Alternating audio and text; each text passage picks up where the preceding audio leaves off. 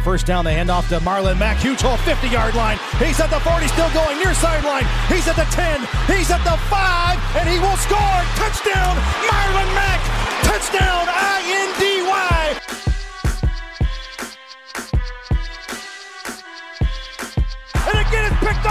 Darius Leonard. Leonard with a second INT, and he's streaking down the near sideline. He's at the 40. He's at the 30. He's at the 20. He's gonna go a pick six for the maniac. Horseshoe is back, baby. The horseshoe is back. What's going on, everybody? Welcome back to another episode of the Bring the Juice podcast.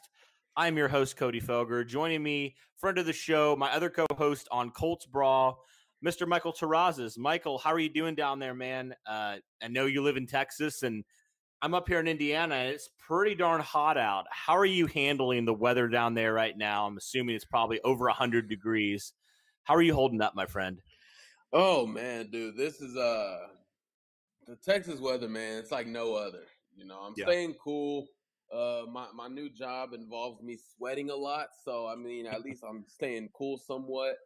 Uh, but man, for the most part, man, just uh, just feeling blessed, man. Just turned uh 22 years old. I feel feel good for how far you know God's allowed me to go, and you know just can't go anywhere without Him. So I'm I'm feeling good right now. Good man, yeah. Happy belated birthday! I know that was yesterday. Thank you. Uh, yeah, absolutely. Yeah, I wanted to talk about Michael. I don't know if you've been following along, but what we've been doing these last you know few days, you know, basically this last week We've been looking at the different position groups on the Colts. We've been focusing solely on the offense. So, you know, we started with the quarterbacks, then we talked about the running backs, we talked about the wide receivers, and most recently, we just looked at the tight ends. But I wanted to look at a group that's probably the biggest strength on this Colts offense. It's been the biggest strength the last two years, and that's the offensive line. Now, the offensive line, you know, this one probably has the most investment out of any of these position groups on the offense in terms of draft capital that the Colts have used to acquire these guys. And so um, I thought we could look at, you know, I know the Colts typically carry probably eight to 10 more so on the nine to 10 uh, guys on the offensive line because obviously, you know, stuff happens and you need depth. You need guys to come in and step in. So I thought today we could kind of look at nine guys that I think – legitimately, and there could be a surprise. It seems like there always is. But I want to look at nine guys who I think legitimately have a shot at making this final 53 man roster. I'm going to say the Colts are going to carry nine. They very well could carry eight or very well could carry 10. But nine, I think, is a good number to kind of look at here. And so we'll start by looking at all five starters, and then we'll talk about some of those reserve guys as well. Um, we'll start on the left side. Guy who's been on the Colts since 2011, the left tackle, he's been rock solid. He's actually had some of his best seasons the last few years. Uh, that's Anthony Castonzo out of Boston College. I mean, he's been a guy, Michael, that's, you know, besides that 2018 season, he's been a guy that's played pretty much 16 games his entire career besides his rookie year. He's just been a rock on that left side. I mean, he's had to deal with so many different quarterbacks, similar to kind of how T.Y. Hilton has had to catch passes from so many quarterbacks he's had to protect the blind side of so many quarterbacks, and he's done a fantastic job. Um, I know another guy that was drafted, you know, in that same draft by the Patriots, Nate, Nate Solder. He's on a different team now, but Anthony Castonzo has stayed with the Colts. It, he probably will be a Colt for life. He's just a fantastic player in his own right. He's an elite run blocker, and he's gotten a lot better in the pass protection department. Uh, Michael, give me your thoughts here on a guy like Anthony Castonzo, kind of the veteran of this offensive line group. Yeah, I mean, this is a no-brainer. Uh, he's going to make the roster. He's going to be the starter. No one's debating that right now. For the most part, man, the biggest thing for Anthony Castonzo is going to be like like like I've said on some others. You know, in the past, he he's had a couple injuries, but nothing major. Nothing major. Yeah, I really hope it's going to be a clean year for him. And man, there's there's really not a whole lot to say about Anthony Castonzo because I mean he's not a project in the works. He's not. He we know what he is, and he's a pretty darn good offensive tackle. So being like the blind the blind side protection of Philip Rivers, Jacoby Brissett, or Jacob Eason, whatever the case may be, it's going to be big because he's the most experienced lineman on that team. Uh, probably after Philip Rivers is the most experienced player on that team. Mm-hmm. But nonetheless, man, he he's just going to be an anchor like he always has. He's going to be the leader of that team, the, that uh, unit. And I mean, like I said, there's not a whole lot to say on him, but we already know what he's going to be. Yeah, I wonder how much of a sigh of relief Philip Rivers had when he signed at Indy and, and realized he had an elite protector in Anthony Castonzo. I mean, just coming from what Rivers has had with the Chargers, that's just got to be a breath of fresh air. Just just to realize, oh man, I don't have to worry about my blind side all the time. Anthony Castonzo's got me. Uh, that certainly, if I was a quarterback, I would really be able to sleep well at night if knowing that I have that kind of guy, you know, protecting my blind side. So Anthony Castonzo great left tackle. He's only gotten better with age. He's kind of like fine wine, man. He, he keeps getting better as he's getting older. You know, last year Anthony Castonzo said, honestly, I feel the best that I felt since I was drafted. And so there should be, you know, at least three, four more years of elite left tackle play from Anthony Castonzo. So that's certainly exciting. And then we can look over to his right side, the left guard, Quenton Nelson, uh, another first round pick. So Castonzo was picked in the first round in 2011. Quenton Nelson, obviously, part of that historic 2018 draft where the Colts traded from three to six, acquired a ton of picks, still got their guy in Quenton Nelson. And Michael, he's not only established himself as the best guard in football, he established himself as the best offensive lineman in football and one of the best players in football. I mean, this is a guy you just you just kind of look at what he's done since he's been the, with the Colts, and I know people. Uh, you can't really evaluate a ton of stats for offensive linemen, but that you know I've always been told if your name's not really called, that's usually a good thing. But Quenton Nelson kind of has changed that because his name's been called for doing incredible things on that offensive line, you know, pancaking guys and just really changing the culture of that Colts offensive line. That, if you remember, a year before he was drafted, the Colts had the worst offensive line in the league. They led the league in sacks allowed. Their running game was not very good. And then Anthony, and then, you know, Quenton Nelson comes in alongside Anthony Castonzo, and he just completely, we know, with others, helps change the culture of that offensive line. You know, kind of throwing it back to those Peyton Manning days, like they take pride in protecting their quarterback. They take pride in running the ball down other teams' throats. And Quenton Nelson is certainly a guy that wants to do that, and he wants to. I know I've seen a quote from him. He wants to take the will away from a defender, and he just really has changed that mindset. And I honestly think he's elevated the game, helped elevate the game of Anthony Castonzo, and then of Ryan Kelly, the center, who we'll get to in a second. But man, Michael, talk to me about Quenton Nelson and just how much he means to this Colts offensive line and just to this Colts team in general. Man, Cody, it's hard to say anything. I mean, you're taking all my points, man. uh, but man, Quenton Nelson, you know, going into that draft of 2018, I was, you know, I was confused uh, of where the Colts were going to head because, you know, I was looking at Quenton Nelson or Bradley Chubb. I was also looking at Quenton Nelson's teammate, um, McGlinchey. I think that's his yeah, last Mike, name. Mike McGlinchey, yeah. Yeah, Mike McGlinchey. And I was thinking, oh, we could use a tackle, maybe on the right side, or maybe, um, you know, uh, switch with Anthony Castonzo. I was looking at those, but when I saw that the Colts took Quenton Nelson, I I wasn't that heavily involved into the draft as I am now, but man, I just knew that he was going to be a game game changer. I mean, that dude mm-hmm. plays like a dang linebacker type offensive lineman. And what I mean by that is he's willing to do anything when it when it comes to contact with a defender. He is willing to do anything. He will cut block you. He will literally just outright push you with his arm, shoulder you, whatever the case may be. That attitude has not only just changed this this offensive line, it's changed this organization. It's changed, you know, that that good vibe, that attitude that changes you. And he's the guy that spearheads run the damn ball. He literally goes to Frank Reich on the sideline and says, Hey, I want you to run the football. We need to run the football. And when, when you have a guy like that who you see is literally begging, you to run the football so he can get his hands on someone. That is that just tells you he's ready to knock rip someone's head off.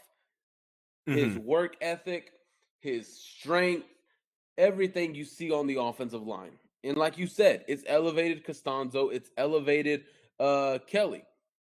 But for Quenton Nelson, he does a lot of things really well in that run game. Because when you're going in between the A and B gaps, Quenton Nelson is taking out one or two guys every time. Every time. And the way he pulls, dude, that, that's one thing I think don't doesn't get said about Quenton Nelson too much is that he is very athletic for an offensive lineman. The way he pulls, how fast he pulls, is just incredible. It is incredible. And that he mm-hmm. is a big reason for why the running game is where it is and where it's going to go in 2020. Yeah. I don't know if you read the story from the Indy, Indy Star about Quenton Nelson last year going into that Kansas City game. Um, so basically, Chris Ballard was talking um, on a podcast with uh, NFL Network, uh, Lance Zierlein, and he was basically talking about the week to that Kansas City game.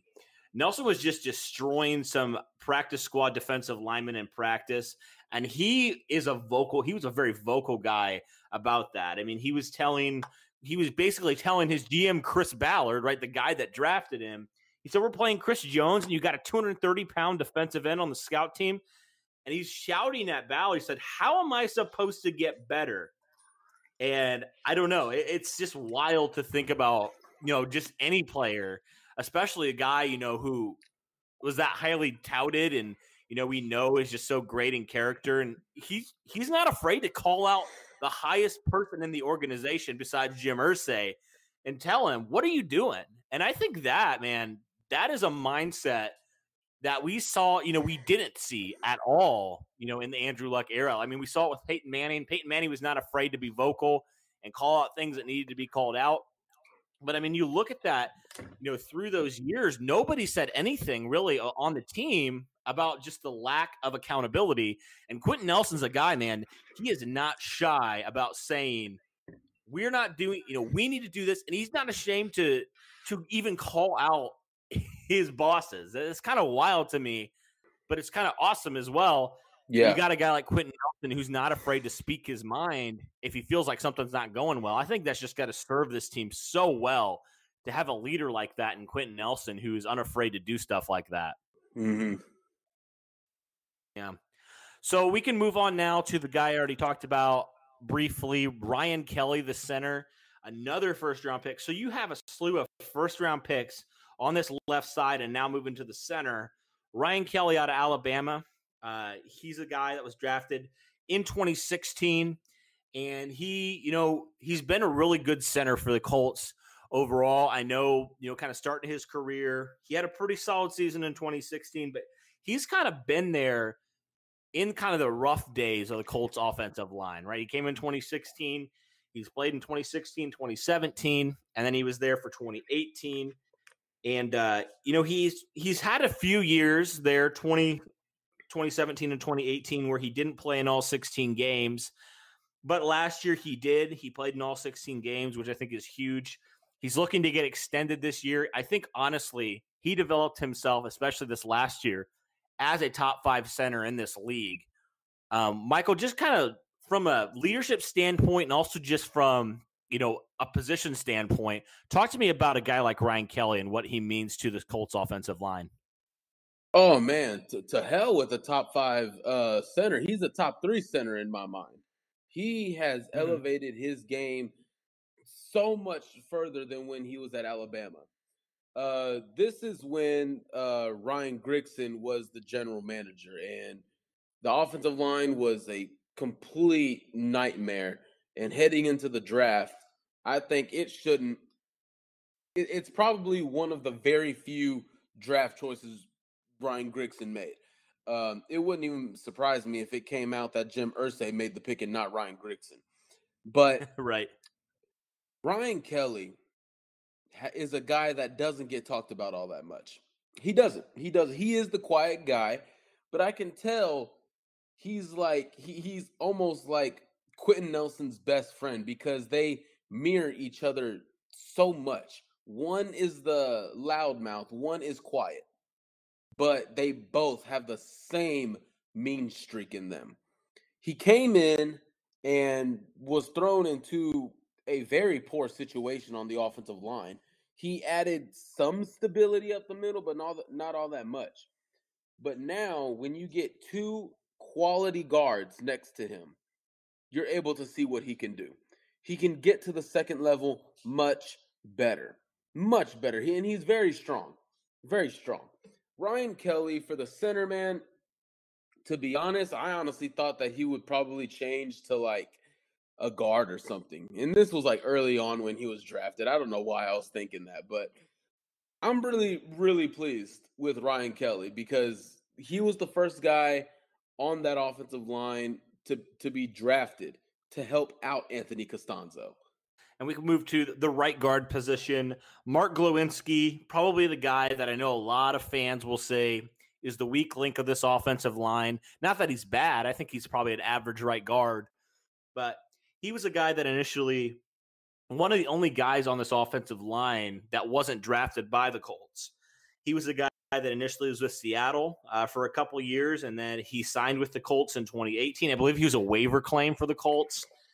And uh, you know, you mentioned it when when injuries happened in that New England game, and uh, you know Matt Slauson goes down. Mark Glowinski has to go play right guard, and honestly, I, I feel like he hasn't been as bad as a lot of people have said. Obviously, mm. last year I feel like was his weaknesses were more amplified because of the poor quarterback play, and we know Jacoby Brissett, for whatever reason, has trouble sometimes just getting rid of the ball when he needs to get rid of the ball, holding on to it. This, we saw that with Andrew Luck a little bit as well um, early on in his career. But you know, I feel like Mark Glowinski's a quality starter at right guard. You could, I mean, you could obviously upgrade from him, but it's not the most pressing need to upgrade from him right now. Uh, what are your thoughts on a guy like Mark Glowinski, Michael? If there was any kind of debate on this offensive line, it would be the right guard position because, like you said, his weaknesses were exposed a little bit.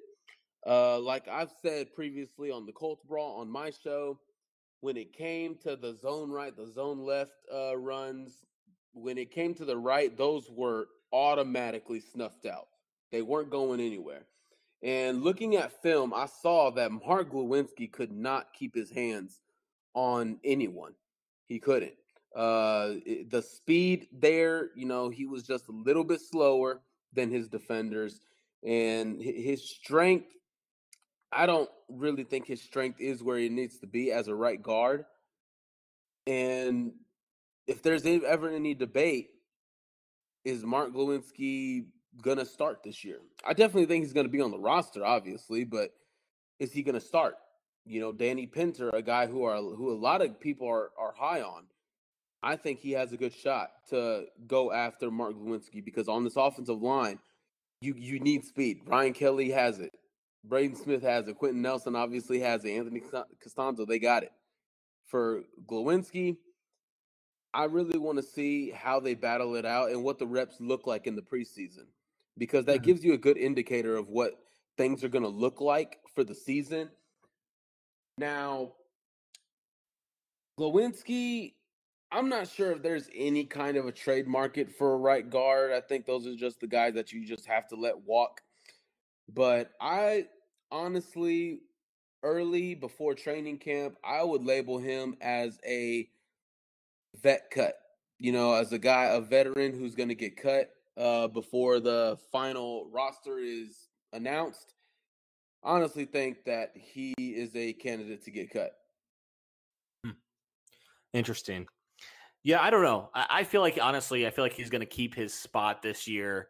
I don't know. I, I, just feel like you know, as good as Danny Pinter is, how high the Colts are on him, he mm-hmm. still needs time to develop. I mean, he wasn't coming out of you know a SEC school or anything of that nature nope. like Braden Smith was, and you know Quenton Nelson obviously playing against some of the best defensive linemen in the league in in college football, and so I don't know. For me, Danny Pinter's probably a guy that needs maybe a year or two to develop a little bit more. You know, get stronger, continue to develop his game because I mean, really, he's not that far removed from just from being a tight end he was a tight end coming into Ball State, and then he obviously transitioned to offensive tackle, and now he's transitioning again to more of the interior. So I don't know. For me, I feel like you know Mark Glowinski's obviously not a long term piece for you at right guard, but I feel like he can be a serviceable piece right now, a decent yeah. veteran at the on that right Solid. side. He's not awful. Like I think a lot of people think he's just like, you know, I'm trying to think some of those offensive linemen the Colts had in 2017, like Samson uh, Satele. No, not Samson. That was earlier on. I'm trying to think the offensive guard that was there the year before Quenton Nelson was drafted. He was like the worst in the NFL. Oh crap, his name is escaping me. But it wasn't know, Todd Herremans, was it? No, no, no. This was oh crap. I forget his name. Jeremy Vujnovich. That's the name. Ah, uh, yeah, yeah, Dude, yeah. So bad. But he's not like that level, not even close to that level. But he is, you know, when you look at a top five offensive line, you know, probably the top offensive line, honestly, you know, there's going to be a weak link on every offensive line. And I think he's a weak link. And that just tells you how good this offensive line is. If an average right guard is your biggest weak link on that offensive line. So certainly could be replaced, but I feel like you know, the Colts just extended him uh, previous to uh, the 2019 season. And so he's got a couple of years left on that contract.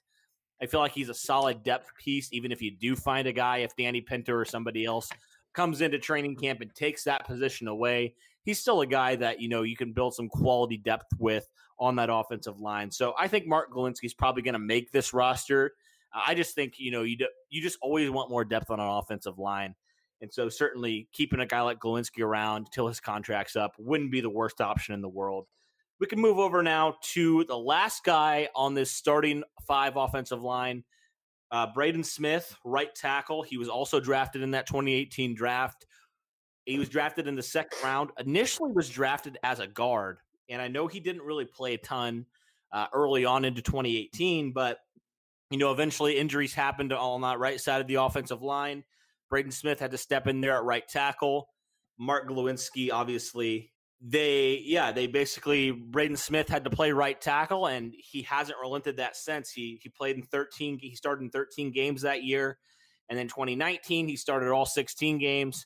Talk to me real fast about a guy like Braden Smith who you talk about underappreciated guys. I think he's one of those guys who is vastly underappreciated by a lot of people but he's been a really solid right tackle for the Colts he's a hidden gem for the Colts. You know, one of one of many uh, excellent draft choices by Chris Ballard, and he was actually brought in to be a right guard. He was brought in and he was drafted to be a right guard.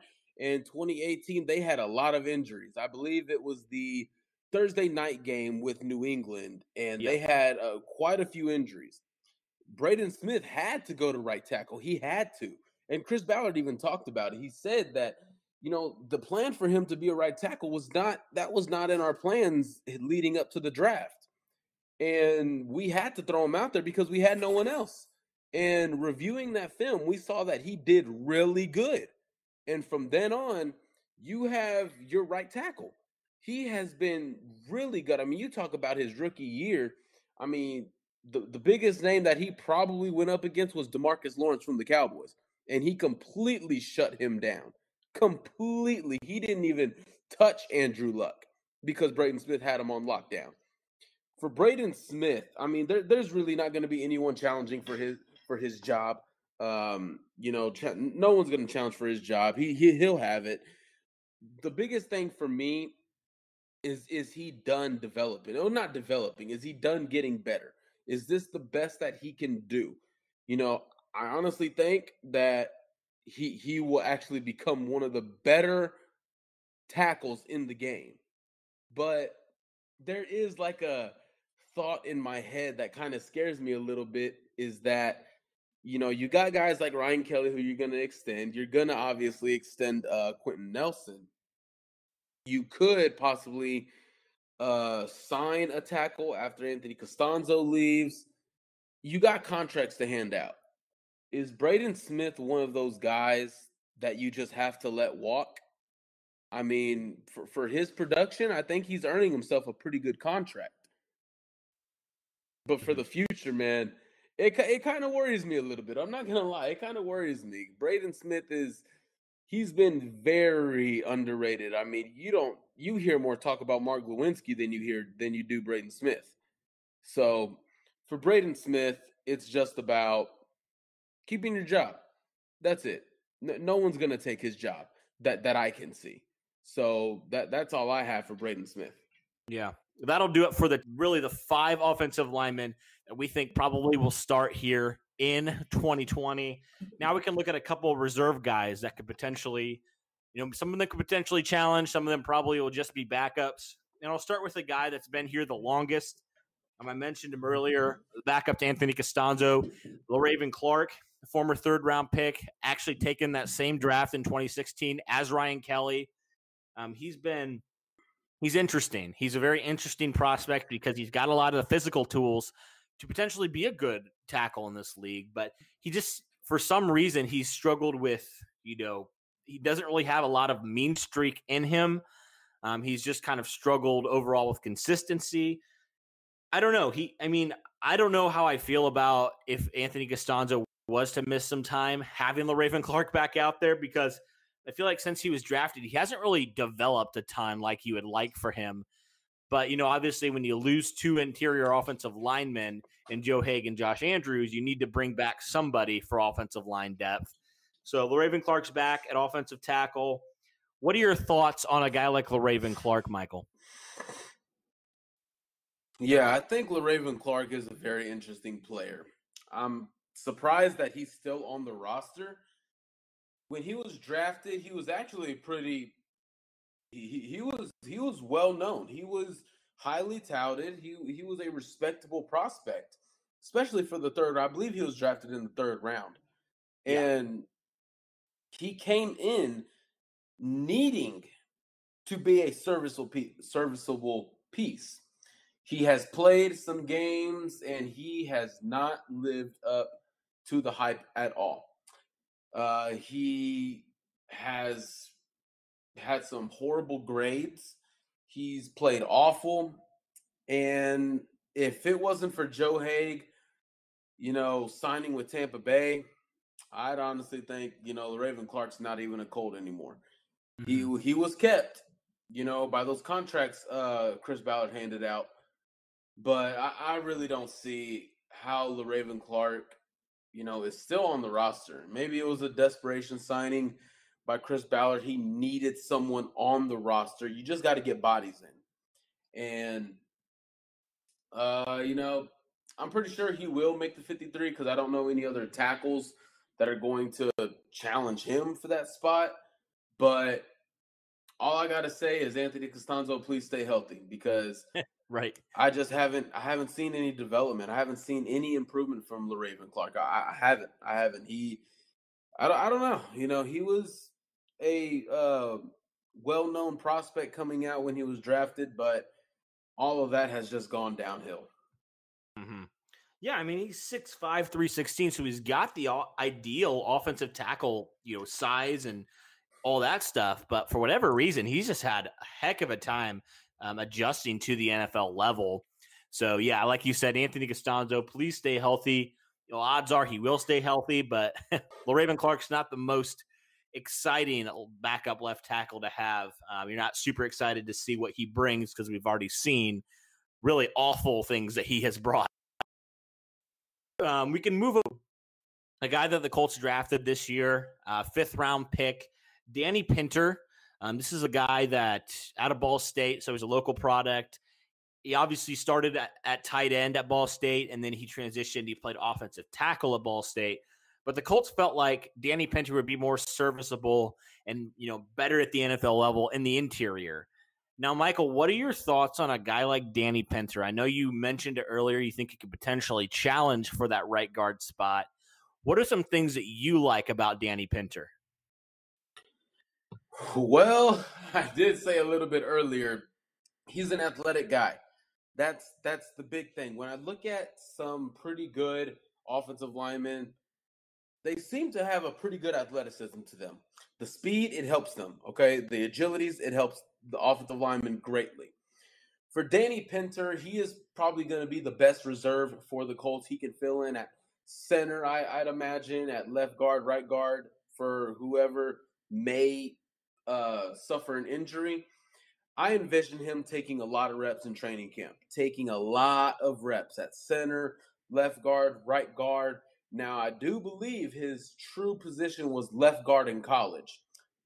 But obviously, we have Quenton Nelson. A move to right guard, that that is completely doable because you look at Mark Glowinski, and like you said, he's a good piece for right now. But for the future, we gotta we gotta think bigger. For Danny Pinter, like I said, he's gonna be the best reserve on the team. And there's not really a whole lot to say about him because he's a rookie. We haven't seen him perform or go up against any kind of people. But for me, it's going to be about where his best fit is. You know, is he going to be a better center than he is a guard? Is he going to be a better left guard than he is a right guard? You know, th- those are some things that we still haven't uh, found out yet, and we're going to find out in training camp. But I am really hoping for Danny Pinter to pan out really well for the Colts. Mm-hmm. Yeah, for sure. I believe he was an offensive tackle at Ball State, and the Colts had decided to move him inside. Um, we Mm, can look okay. at another another guy here. Um, a guy that's actually been talked about a decent amount, and a guy that I didn't really know about um, before I started, you know, kind of looking into him a little bit. Jake Eldrenkamp. Uh, he's listed at a center where I'm looking, but he can play kind of that interior as well. He's 26 years old. Um, he's a guy that you know I don't know a ton about. I'm not sure, Michael, how much you know about Jake Eldrenkamp, but seems like there are some people who are kind of high on him. Um, he's 26 Mhm. years old, so he's still fairly, fairly young. Um, he's a little bit undersized. I mean, he's 6'5", but he's 284. So not the typical offensive line size that you're looking for, but maybe that means he's a lot more athletic than some of these guys. What are your thoughts on a guy like Jake Eldrenkamp? Yeah, for the weight, 284 as an interior guy, as as a tackle, you know, that that'd be fine with me. But if you're gonna be an interior offensive lineman, you're going up against 300 pound defensive tackles. You know, um, so I would definitely want to see that weight get up. I don't know too much about Eldrenkamp, but I do know, like you said, there were some guys that were high on him. You know, Chris Ballard, I believe he was signed during the season last year, right? Uh, I'm not sure actually. I'm I'm pretty Probably. sure. I, I, feel like I think he heard his name. Yeah. Yeah, yeah, I think he was, and Chris Ballard was high on him. He, as soon as he hit the waiver wire, you know, Chris Ballard, he he put in the note, and for him, you know, like I said, I don't know too much about him, but I do know that when it comes to the reserves on the Colts offensive line, uh, there, there's some limited pieces. But for Eldrenkamp, it's going to be about solidifying himself for a reserve spot. Because if I'm being honest, I think the Colts will carry eight linemen this year. Uh, you know, possibly another guy that we're about to talk about. But for eight guys, I think that's a pretty good, it's a pretty good number for eight. Because when I look at other Mhm. positions, you might want to keep more at those positions than you do the offensive line, since that's your strongest unit. For Eldrenkamp, it's just going to be about make the roster. Just just make the roster. I think his best fit will be most likely probably at a center position. So possibly, you know, to fill those Josh Andrews shoes, it's going to be uh we're going to see. It's going to take some time. Yeah, absolutely. The last guy we'll look at here that I wanted to talk about, a guy we have not seen yet, but he was drafted in the 2019 draft in the seventh round out of Mhm. Mississippi, Javon Patterson. This is a guy that we obviously didn't see because he tore, I believe he tore his ACL last year. So he Mhm. missed the entire 2019 season. But, you know, talking about interior needs, I mean, the Colts really have some needs on that offensive interior, just guys that, you know, can be solid pieces, especially after losing two quality guys to free agency. But you throw in a guy like Patterson, who we don't know a ton about, but I mean, he's got decent size 6'3, 308. He's only 22 years old. So he's still young. He's got fairly good upside. What are your thoughts on a guy like Javon Patterson and maybe his chances to make this roster and, and help this Colts reserve offensive line? You know, I was actually high on him coming out of the draft because I because I did like him. He showed me some good stuff at Mississippi, and obviously that's in the SEC. And he he held his own against some guys there. Now the ACL was a was a killer for him. Coming back, it's going to be about that agility in those legs and those hips uh, at, at the tackle position. And he's a guy that I'm kind of hoping could possibly take uh, that spot from Le'Raven Clark, hopefully. But coming off the ACL, I, I don't know. But he is still fairly young, still fairly young, just like a Julian Blackmon. So he could heal pretty quickly. It was last year. I'm really high on Javon Patterson, if I'm being honest, because when I saw him at Mississippi, you know, just his his build, his foundation, his his core, it was just it was strong. I liked what I saw, and I was kind of surprised he went in the seventh round. I thought he would have been a fifth round pick, but for him to go to the seventh round and obviously, you know, suffer injury last year, I'm really curious to see how he bounces back this year because it's going to be a battle for that uh, backup left tackle position. I think he should uh, want to compete for that. You know, this is another guy who's going to be the odd man out between Le'Raven Clark or Javon Patterson. I honestly think it's going to come down to those two guys hmm. because if you're going to be the lone tackle, you got to be able to fill in at both. And Le'Raven Clark has played left tackle and right tackle. Javon Patterson, he he went a little bit in high school. I believe he was a right tackle mainly at um no, a left tackle in high school, played a little bit of both in college. So it's going to be about, you know, Chris Ballard likes those guys to be versatile on everywhere on the field. So mm-hmm. it's going to be a, a pretty good competition there between those two. Yeah. Uh, do you think he's a guy? Because I know he came out of college. I think he was a center at Mississippi, if I'm not mistaken. So maybe he's had some experience kind of everywhere on this offensive line. Yeah. Um, do you think he's a guy that could kind of be, you know, Joe Haeg type with, you know, just a Swiss Army knife, if you will, of offensive line? Like he can kind of play anywhere, kind of plug and play wherever you need him. Do you think he's kind of that type of mold as well? I do. I do. I, I honestly like him at tackle better than I do center, which is, I, I didn't mention center because I think that's not, I guess you say, in the cards uh, as mm-hmm. as a reserve role, yeah, sure. But I really like his potential on the outside because I did see some good things, and man, it's it's gonna be hard.